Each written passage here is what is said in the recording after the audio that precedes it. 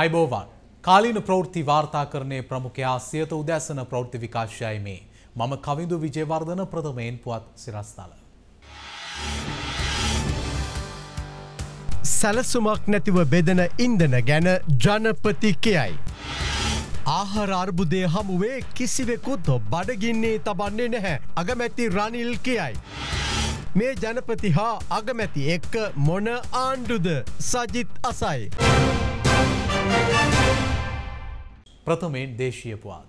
ඉන්දන බෙදා හැරීම වහම ක්‍රමවත් කරන්නේ ජනාධිපති ගෝඨාභය රාජපක්ෂ නිලධාරීන්ට උපදෙස් ලබා දුන්නා. ඒ ජනාධිපති ලේකම් කාර්යාලයේ පැවති සාකච්ඡාවකදී. පෙට්‍රල් ඩීසල් ගෑස් බෙදා හැරීම සහ ආනයනය සම්බන්ධයෙන් ජනාධිපති ගෝඨාබේ රාජපක්ෂකය ප්‍රධානත්වෙන් විශේෂ සාකච්ඡාවක් පැවැත්වුණා. ඒ කොළඹ කොටුව ජනාධිපති මන්දිරේති. දැනට ලැබී ඇති සහ ඉදිරිදින කිහිපේ තුර ලැබීමට නියමිත ඉන්දන තොක ක්‍රමවත්ව දිවයින පුරා ඉන්දන හල්වෙත බෙදා හැරීමට පියවරගන්නා ලෙසයි ජනාධිපති ගෝඨාබේ රාජපක්ෂ මෙහිදී උපදෙස් ලබා දුන්නේ. මුදල් අමාත්‍යංශය සහ මහ බැංකුව එක්ව රාජ්‍ය සහ පෞද්ගලික බැංකු දායක කරගෙන ප්‍රමාණවත් ඉන්දන තොග ඇනුම් කිරීමට පහසුකම් සපයමින් නයවර ලිපි නිකුත් කිරීම සඳහා සැලසුම් කළ යුතු බවද ජනාධිපතිවරයා සඳහන් කළා. සැපයුම් කරුවන් සමඟ දීර්ඝ කාලීනව ඉන්දන ලබා ගැනීම සඳහා ගිවිසුම් ගතවීමට ඇති හැකියාව කෙරෙහිද විශේෂ අවධානයක් යොමු කෙරුණා. ඉන්දන බෙදා හැරීමේදී පොදු ප්‍රවාහනය සඳහා ප්‍රමුඛතාවය හිමිවනවා. ලංකා ගමනා ගමන මණ්ඩලයට අයත් පිරුම්හල් යොදාගනමින් පෞද්ගලික හා සංචාරක බස්රථ සහ පාසල් වෑන් රථවලට පොලිසිය අධීක්ෂණය යටතේ ඉන්දන නිකුත් කිරීමට කටයුතු කළ යුතු බවයි ජනාධිපතිවරයා ප්‍රකාශ කළේ. අනෙකුත් අත්‍යවශ්‍ය සේවා සඳහා හඳුනාගත් ඉන්දන පිරුම්හල් වෙතින් ඉන්දන අකණ්ඩව නිකුත් කිරීමටත් පිරුම්හල් වෙත යුද හමුදාවේ සහ පොලිස් විශේෂකාරය බලකායේ ආරක්ෂාව සැපීමටත් තීරණය කෙරුණා. අනවශ්‍ය ලෙස ඉන්දන තොග රැස් කරන්නන්ට එරෙහිව දැඩිව නීතිය ක්‍රියාත්මක කරන ලෙසයි මෙහිදී ආරක්ෂක අංශවලට නියෝග කෙරුණේ. පවතින ගෑස්තොක ක්‍රමාණුකූලව බෙදා හැරීමටත් ප්‍රමාණවත් ගෑස්තොක කඩනමින් ඇනවම් කිරීම පිළිබඳවත් සාකච්ඡාවට ලක්වුණා. ජාත්‍යන්තර මූල්‍ය අරමුදලේ සහය මීට පෙර ලබාගත්තා නම් රට තුළ පවතින අර්බුදය මගහරවා ගැනීමට තිබූ බව මහබැංකු අධිපති ආචාර්ය නන්දලාල් වීරසිංහ පවසනවා. BBC මාධ්‍ය ආයතනය සමඟ පැවති සම්මුඛ සාකච්ඡාවකදී ඔහු මේ බව පැවසවා. රට තුළ පවතින්නේ මාස දෙකකින් විසඳී හැකිය අර්බුදයක් නොවන බව මහබැංකු අධිපති ආචාරය නන්දලාල් වීරසිංහ මහතා පවසනවා. ABBC මාධ්‍ය ආයතනය සමඟ පැවති සම්මුඛ සාකච්ඡාවකට එක්වෙමින්. ජාත්‍යන්තර මූල්‍ය අරමුදලේ සහය මීට පෙර ලබාගත්තේ නම් මෙම අර්බුදකාරී තත්ත්වය මගහරවා ගැනීමට හැකියාව තිබූ බවයි මහබැංකු අධිපතිවරයා පෙන්වා දෙන්නේ. IMF ආධාරද ඇතුළුව අමරිකානු ඩොල පිලින පහක අවශ්‍යතාවයක් මේ මොහොතේ ශ්‍රී ලංකාවට පවතිනවා. එසේම ණය ප්‍රතිව්‍යූහගත කිරීමේ ක්‍රියාවලියද මීට වසරකට පමණ පෙර ආරම්භ කළ යුතුව තිබූ බවයි මහබැංකු අධිපතිවරයා ප්‍රකාශ කර තිබෙන්නේ. එම තීන්දුව තීරණ ප්‍රමාද කිරීම වරදක් බව ඔහු ප්‍රකාශ කර ඇති බව BBC පුවත් සේවය වාර්තා කළා. තමා මහබැංකු අධිපතිතූරේ වැඩබහර ගැනීමට එකඟ වූයේ මාස දෙකින් ඉවත්වීමට නොවන බවත් මාස දෙකක වැනි කෙටි කාලයකට පමණක් සේවය කිරීමට සිදුවන බව දන්නේ නම් එම තනතුර බහර නොගන්නා බවත් මහබැංකු අධිපතිවරයා ප්‍රකාශ කර තිබෙනවා. ආහාර අර්බුදය හමුවේ කිසිවෙකු බඩගින්නේ තබන්නේ නැති බව අගමැති රනිල් වික්‍රමසිංහ පවසනවා. එය තම ප්‍රතිපත්තිය බවයි ඔහු වැඩිදුරටත් පවසන්නේ. ඒ ආහාර සුරක්ෂිතතාවය පිළිබඳව වූ කමිටුව අද රැස් වූ අවස්ථාවේදී. ආහාර සුරක්ෂිතතාවය පිළිබඳව වූ කමිටුව රැස්සුනා.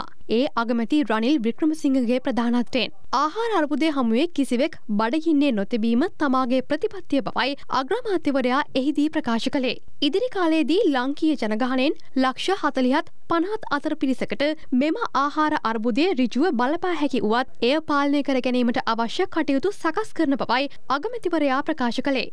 මෙහිදී විශේෂයෙන්ම කුඩා දරුවන් සහ වැඩිහිටියන් පිළිබඳ වැඩි අවධානයක් යොමු කන ලෙස අගමැතිවරයා නිලධහරින්ට උපදෙස් ලබා දුන්නා.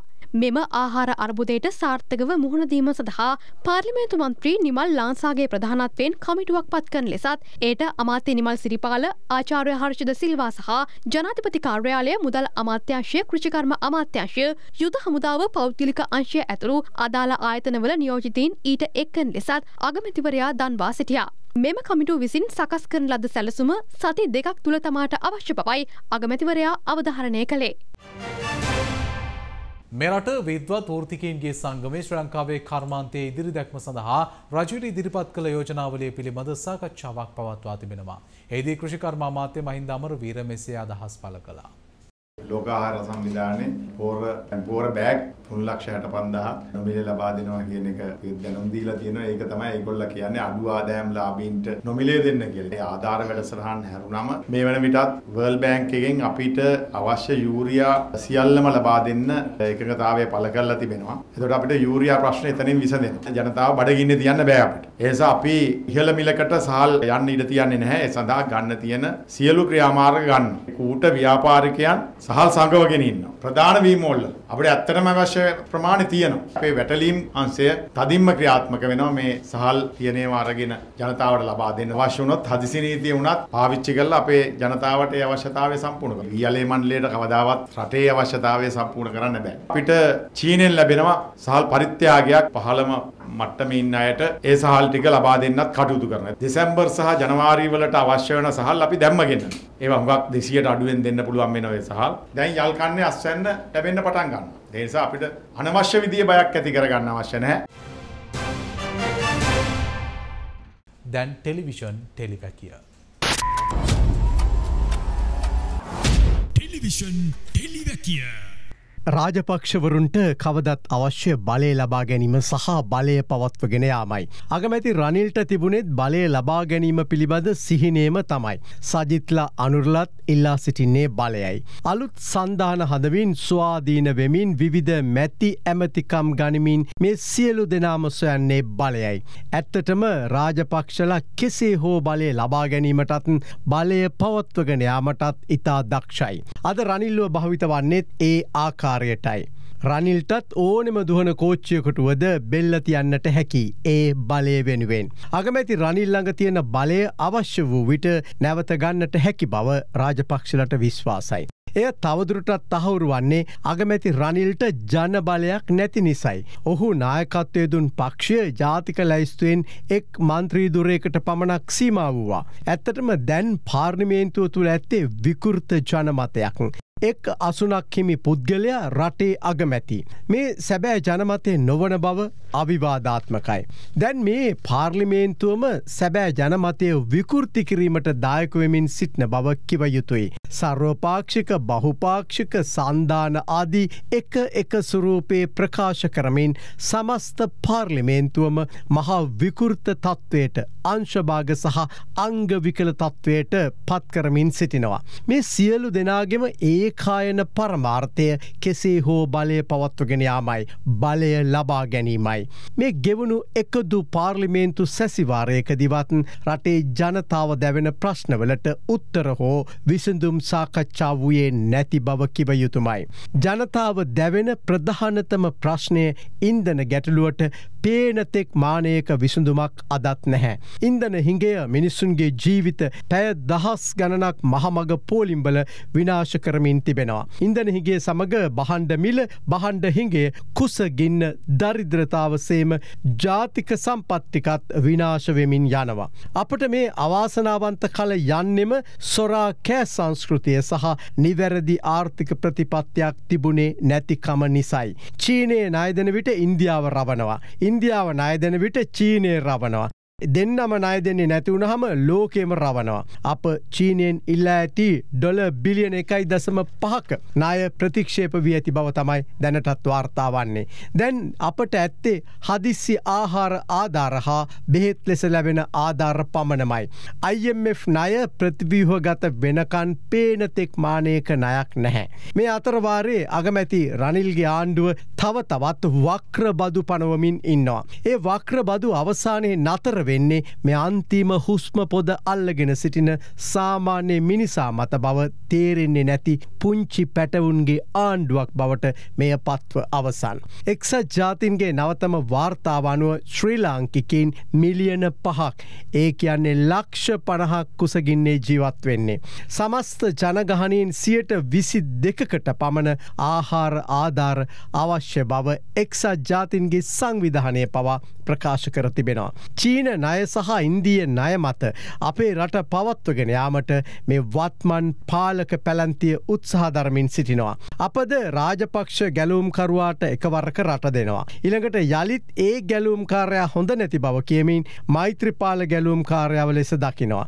දැන් අප කිසිසේත්ම ගැලුම්කාරයෙකු ලෙස මෑත කාලේ දැක්කේ නැති රනිල්ට දැන් රට බාරදීලා. එයා තමයි දැම් ගැලුම් කාරය වෙලා ඉන්නේ. මේ එක ගැලුම් කාරයෙකු හොඳ නෑ කියලා තවත් ගැලුම් කාරයෙකු හොයන ජනතාව ලෙස අපද මීට වගකිව යුතුමයි. මේ ආකාරයට දිගින් දිගටම ගැලුම්කාරීන් සොයමින් සිටිනවා. රට ඉන්දියන් සාගරයේ ගිලෙමින් තිබෙනවා. ඇති හැකි මීයන් මේ ගිලෙන නැවෙන් පනිමින් සිටිනවා. නමුත් අපට මේ නැවත් එක්කම ගිලෙන්න වෙනවා. නැව ගිලීම නතර කරන්න නම් තවත් මේ විද්‍යාකාර ගැලුම්කාරීන් මත විශ්වාසය තැබීම නතර කළ යුතුයි. අප සොයාගත යුත්තේ නිවැරදි ආර්ථික ප්‍රතිපත්තියක් ක්‍රියාත්මක කළ හැකි අවංක පිරිසකුයි. දැන් ඉන්නේ සිංහ වෙස්ගත් බූරුවන් පිරිසක් එහෙමත් නැත්තම් සිංහ වෙස්ගත් නරියම් පිරිසක් බව අමුතුවෙන් කිව යුතු නැහැ. අදානී මෝදිගේ අවුල නිසා කොයිවෙලේ හරි ඉන්දයානු ණයද නතරවෙන්නට පුළුවන්. IMF එක අපේ ණය ප්‍රතිවීහ ගත කර අපට පිහිට වනතෙක් අගමැති රනිල්ටවත් ජනාධිපති ගෝටාබේටත් විසුදුම් නැති බව දැන් පේනවා. අඩුම ගානේ සංචාර්ක කර්මාන්තය ගැන කතා කරනවා. මේ වගේ ගෑස් පෝලිම් ඉන්දන පෝලිම් දැක දැක රටට එන්න සංචාර්කින් කවුද. ඉන්දන ගැටලුව විසඳගන්න ප්‍රමුඛතාව දීමට තාමත් මේ කාටවත් බැරිවුණානේ අඩුම ගානේ ඉන්දන ගේන්න කැමති පෞද්ගලික ව්‍යාපාරකින් ඉන්නවද කියලවත් අද වෙනකන් හොයල බල්ල නැහැ. අහල්ල බලන්නේ නැහැ. මොකද මේ ඉන්දන නැව් හදිස්සි මිලදී ගැනි මෙයාදී හැම එකක්ම හොරජාවාරම් කොමිස්කුට්ටි ලැබෙන ක්‍රම නිසා තමයි මේ විදිහට යන්න ඇරලා තියෙන්නේ. හැකියාව ඇති පෞද්ගලිකාංශයට හෝ ඉන්දන ගේන්න ඉඩ දෙන ක්‍රමයක් හොයල බලන්න. ඒ වගේ මයි සංචාරකින් ගැන කතා කරනවා. අපේ රටට එන්න ශ්‍රී ලංකන් යාලයින් ටිකට් එක කරන් බලන්න. ඒ ටිකට් එකේ ගානයි මාලදිවයට ඉන්දියාවටයි තව වෙනත් සංචාර්ක කර්මාන්තය තියෙන රටවල්වලට යන්න තින ටිකට්වල ගාන සසඳන්න අපේ රටට එන්න තියෙන ගාන ඉතා ඉහලයි. ටිකට් එකේ ගාන වැඩි. ඉතින් කවුද කැමතිවෙන්නේ ඔහොම වැඩිමුදල ටිකට් අරගෙන එන්න. එනිසා කිසිදු නිවැරදි සැලක්ස්මක් මෙවෙලාවේ මේ රට කරවන කණ්ඩාය මත නෑ. අඩුම ගානේ සංචාරක කර්මාන්තය ගොඩගන්නවත් සැලස්මක් පේන තික්මානයක නෑ කියල තමයි අපට බයනැතුව කියන්න තියෙන්නේ. මේ කණ්ඩායම රට තවතවත් වල්ල පල්ලට යවමින් සිටිනවා. බොරුවට සංචාරකින් ගේන කතයි රෙදිපිලි පිටරට යවන කතයි එක එක ජාතියේ මුහුද හත්ගව වත්තියද්දි අමුඩ ගහන කතා කියමින් ඉන්නවා. දැන් අංක එකමොකක්ද ඉන්දන සුලභ කිරීම. ඉන්දන පෝලිම් නැති කිරීම. මෙ විනාශ වන්නේ මේ රටේ ජනතාවගේ ජීවිතය හා කාලය කියලා තේරුම් ගැනීම. අඩුම ගානේ වෛද්‍යවරයකුට හෝ මේ තියෙන ඉන්දනවලින් විගස අරගෙන රෝහලකට යන්න ක්‍රමයක් නෑ. වෛද්‍යවරු රෝහල්වලට යන්න ජීවිත බේරගන්න රෝගීන්ට ප්‍රතිකාර කරන්න. අඩුම ගානේ ඒකටවත් සාර්ථක ක්‍රමයක් හදාගන්න තාම බැරි වුණා. රෝහල් පද්ධතියම බිඳවැටිලා. අගමැති රනිල් ජනාධිපති ගෝටාබේ දැන් රටේ දැවෙන ප්‍රධානතම ප්‍රශ්නය ඉන්දන කියලා තේරුම් ගන්න. අඩුම ගානේ ඉන්දන ගේන්න ක්‍රමයක් නැත්තම් බක්කි කරත්ත ටිකක් හදලා ඔය දෙසිය විසිපහෙන් දෙසිය දෙනෙකු විතර බානට බැඳලා අලුත් ප්‍රවාහන ක්‍රමයක් හදන්න කියලා යෝජනා කරනවා. ඒත් මට හිතෙන්නේ නෑ බානට බැඳල නම් වැඩක් තියවි කියලා. මොකද එකම පක්ෂය වුණත් දෙන්න දෙපත්තට ඇද ඇද හිටීවි. දැන්ඔය විසියක ගේන්න අදින ඇදිල්ලම පේනවන්නේ නේද. අවසන් වශයෙන් යළි මතක් කරන්නේ වහාම ආර්ථික ප්‍රතිපත්ති හදන්න දන්න. මේ ඉන්දන අර්බෝධයට විසඳුම හොයන්න පුළුවන්. බුද්ධිමත් ආර්ථික විශේෂඥ කම කමිටුවක් පත් කරන්න. එහෙම කමිටුවක් පත් කරලා ඒ අයගෙන් අහල බලල උපදෙස් ගන්න. පෞද්ගලිකව හෝ කවුරුන් හරි ඉන්දන රටට ආනායනය කරන්න කැමතිනම් දේශී හෝ විදේශය ආයෝජිකින්ට වහම අවස්ථාව දෙන්න. නැත්තම් ඉන්දන පෝලිම්බල ඉන්න ජනතාව පිච්චිලයාවි. තමුන්ලට නම් ඉතින් ඒකට මොකෝ ශීෂෙල්ස් තියෙනවා නැත්තම් ඇමරිකාව තියෙනවානේ පැනලයන්න නේද. රට වැටි ඇති අර්බුදයෙන් ගොඩ ගැනීමට නම් වහම සර්වපාක්ෂික ආණ්ඩුවක් නිර්මාණය කළ යුතු බව ශ්‍රී ලංකා නිදහස් පක්ෂයේ සභාපති හිටපු ජනාධිපති මෛත්‍රීපාල සිරිසේන පවසනවා. මේ ප්‍රශ්න ගැන කතා කරපුහම ඇත්තෙම්ම ආණ්ඩුවේ අය අහන ප්‍රශ්නයක් තමයි හොඳයි හෙට වෙන ආණ්ඩුවක් කාවොත් මේ ප්‍රශ්න විසඳෙනවාද කියලා. පැහැදිලිවම මම කියනවා හෙට වෙන ආණ්ඩුවක් අපි කියන විදිහට පිහිටෙව්වොත්. මේ ප්‍රශ්නය ඉතාම කෙටි කාලයකින් විසඳන්න පුළුවන් කියලා. ඒ අපි කියන ක්‍රමේ තමයි සර්වපාක්ෂික ආණ්ඩුවක් හදලා පහළවක් පමණ ඇමතිමණ්ඩලයක් තෝරගෙන මහමැතිවරණයක් තියන්න කාලයක් නියම කල්ලා හයමාසයක් හෝ අවුරුද්දක් ඒ කාලසීමාව තුළත් ඒ රටවල් උදව් කරන්නම් ඊට පස්සේ ඒ මැතිවරණයකින් හැදෙන අලුත් ආණ්ඩුවකට උදව් කරන්න පුළුවන් කියලා. එවැනි මතයක් ජාත්‍යන්තර වශයෙන් තිබෙනවා. අද තිබෙන ආණ්ඩුවට රට තුළ ජාතික වශයෙන් ප්‍රසාදයකුත් නැහැ. අන්තර්ජාතික වශයෙන් නායකයින්ට රාජ්‍යනායකයින්ට ජාත්‍යන්තර සංවිධානවලට ආණ්ඩුව ගැන විශ්වාසයක් නැහැ. අද ඇත්තටම මේ යන ආණ්ඩුව මේක රට දවසින් දවස අමාරුවට පත්වෙන ආණ්ඩුවක්. අද විශේක ගැන ලොකූ කතා බහක් ඒක ඇතුළේ ඇතිවෙන්නේ නැහැ. අපි දැම් සති දෙකක් තුනක් තිස්සේ බලන් හිටිය මේ කැවිනට මන්ලේ මේක සම්මත වී කියලා මං හිතන්නේ ලබන සතිය අපේ සභාපතිතුමා කිව්වා වගේ ඒ ගේන්න බලාපොරොත්තුවක් තියෙනවා. මේ ආණ්ඩුව අරගෙන යන ප්‍රධාන පක්ෂ වන පොජ්ජන පෙරමුණේ ලේකම්වරයා කියන කාරණේ තමයි ඉස්සෙල්ලා ආර්ථික අර්බුදය විසඳලා ඉවරලා 21 ගේන්න කියලා. අපි කියන්නේ තාම කඩිනමින් මේ ක්‍රියාදාමයට ආයුතුයි කියන කාරණේ. ආර්ථික අර්බුදය වගේම දේශපාලන ප්‍රතිසංස්කරණ ගෙනීම අත්‍යවශ්‍ය කාරණයක් බවට පත් වෙලා තියෙනවා. මේ ආණ්ඩුවට තවදුරටත් මේ රටේ ආර්ථික අර්බුදය විසඳන්න පුළුවන් තත්වයක නැහැ. මේ සර්වපාක්ෂික ආණ්ඩුවක් නෙවෙයි. මේ මේක නොන් පාටි ගවන්මන්ට් එකක්. කිසිම පක්ෂයක් මේකට සම්බන්ධ වෙලා නැහැ. පක්ෂවල හිටපු අය කඩලා පක්ෂවල අනුමැතියක් නැතුව කීප දෙනෙක් අරගෙන අමාත්‍ය තනතුරු දීලා හදපු ආණ්ඩුවක් මේ තියෙන්නේ. අපි මේ පිළිගන්නේ නැහැ. මේ ජනාධිපති සහ අගමැති එක්ක ආණ්ඩු කරන්න බැරි බව විපක්ෂ නායක සජිත් ප්‍රේමදාස පවසනවා. ඒ විපක්ෂ මාධ්‍ය කාර්යාලයේ පැවති මාධ්‍ය හමුවකදී. රජයෙන් ඉල්ලීමක් කරනවා තවදුරට බොරු කරන්න එපා. කරන්න බැරි නම් පිරිසිදුවම වගකීම බාර දෙන්න. අපි සූදානම් නැහැ නාස්ල නුදාගෙන රාජ්‍ය පාලනය අතට ගන්න. පැහැදිලිවම නිවැරදි පාලනයක් ක්‍රියාත්මක වෙන්නට ඕන. සරලව කියනවා නම් මේ ජනාධිපති එක්කත් බෑ මේ අගමැති එක්කත් බෑ මේ ආණ්ඩුව එක්කත් බෑ. පිරිසිදු බහුතරයක් යටතේ අපිට හැකියාව තිබෙනවා අලුත් ජනවරමකින් රටේ වගකීම බාරගන්න. එසේ නොමැතිව පැන්ඩෝරා හොරුත් එක්ක ඩොලර් කාක්කුත් එක්ක මේ රටේ මුදල් හොරාකාපු කණ්ඩායම් එක්ක අපි සූදානම් නෑ එකට දේශපාලන මදු සමය ගත කර. දේශපාලනය ගැන මදු සමයක් නෙවෙයි. පාලකවුන්ට සැප පහසුකන් නෙවෙයි. ලක්ෂ දෙසියක් වූ ජනතාවගේ ජීවත්වීමේ අයිතිය සුරක්ෂා කරලා ඒ අයගේ සෞභාග්‍ය සම්පන්න භාවය තමයි රටේ නායකන්ගේ වගකීම. සියත උදෑසන ප්‍රෘති විකාශයමින් නිමාවට පත්වනවා වැඩිදුර තොරතුරු සඳහා පිවිසන්න www.සියත නිවස්.ටල්ක අපගේ වෙබ් පිටුව වෙත අප අලිත් හමුවන්නේ අපගේ මධ්‍යහන ප්‍රෘති විකාශයෙන් ඔබට සුබදවසක්.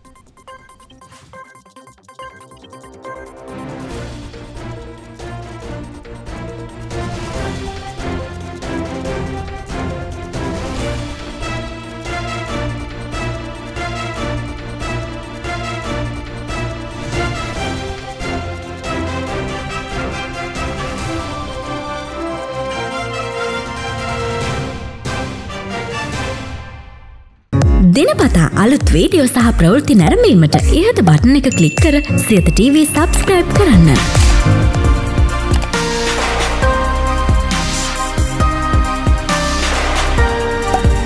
අලුත් වීඩියෝ ගැන මුලින්ම දැනගන්න මෙම සීනුව කලික් කරන්න.